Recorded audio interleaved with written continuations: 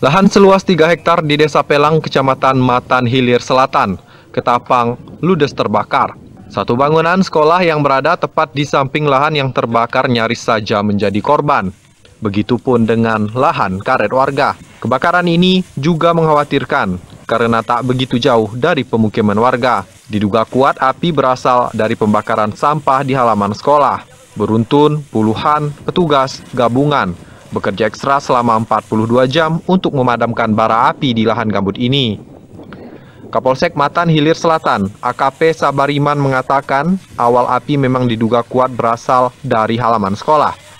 Karena dari video yang dirilis oleh pihak Menggala Agni, terlihat bekas pembakaran sampah yang memang berada di halaman sekolah dan sangat dekat dengan semak belukar kering yang terbakar. Kalau perkiraan informasi dari dari Manggalaan itu juga yang membuat video itu, mm -hmm. memang dari halaman sekolah ini. Perkiraan awal asal usul api ini. Mm -hmm.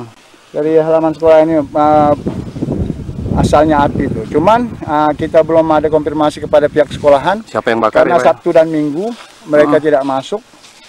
Nah, nanti hari Senin ini uh, Babin saya juga akan meluncur komunikasi kepada pihak sekolah sekolahan Uh, setidaknya minta kesaksian dari mereka uh, dari mana asal usul api untuk oh. cek supaya uh, kepastiannya benar-benar A1. Ketua Regu Menggala Agni Fitria Sri Handayani mengatakan proses lokalisir bangunan sekolah dari api aktif sudah dilakukan.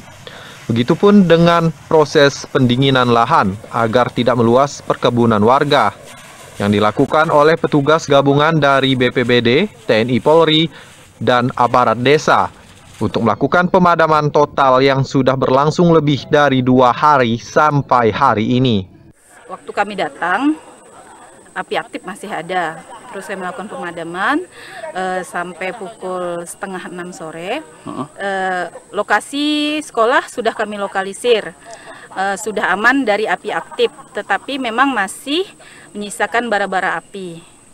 Untuk saat ini uh, penanganan di sana dilakukan oleh pihak mana, Bu? Uh, untuk saat ini penanganan dilakukan oleh BPBD, TNI, Polri, dan Peleton Desa serta masyarakat. Bu, terakhir untuk kendala sendiri Bu, apakah ada kendala sumber air, mesin dan segala macam? Untuk saat ini sumber air, sumber air masih mewah. Uh, kendalanya itu cuma akses jalan. Akses jalan itu uh, karena banyak jembatan-jembatan yang sudah uh, mulai rusak. Jadi kami agak sedikit takut uh, waktu uh, untuk masuk karena mobil kami lumayan berat. Pihak Manggala Agni Ketapang mengatakan hingga saat ini sudah lebih dari 10 titik hotspot yang sudah ditangani tim di lapangan.